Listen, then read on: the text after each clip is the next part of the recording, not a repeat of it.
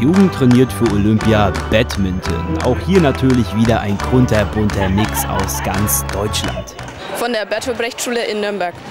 Ja, wir sind aus Niedersachsen, von der Karl-Friedrich-Gauss-Schule. Also wir kommen aus Bremen, von der Freien Evangelischen Bekenntnisschule. Und sie sind alle hier klar zum Spaß, aber auch für den Wettkampf.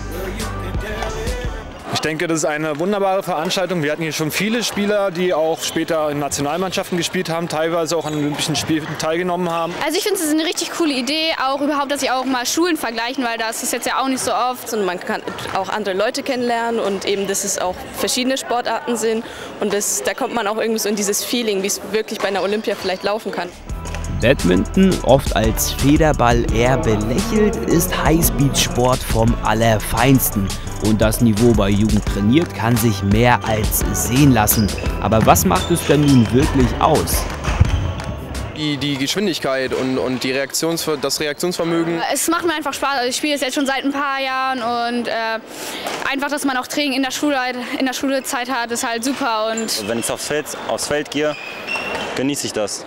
Und wie läuft es bis jetzt? Bis jetzt ganz gut. Das letzte Spiel haben wir gut gewonnen. Ja, wird sich zeigen. Ne? Also wir waren jetzt schon ein paar Jahre hier in Berlin. Das war immer okay und dieses Jahr haben wir ein bisschen Glück mit der Auslösung gehabt, werden wir sehen. Ich bin WK3, da sind wir auch an 1 gesetzt und das erste Spiel auch 7-0 gewonnen, also sieht gut aus. Und die Top-Favoriten der letzten Jahre aus Hamburg und Bayern sind wieder voll auf dem Vormarsch, auf dem Weg ins Finale.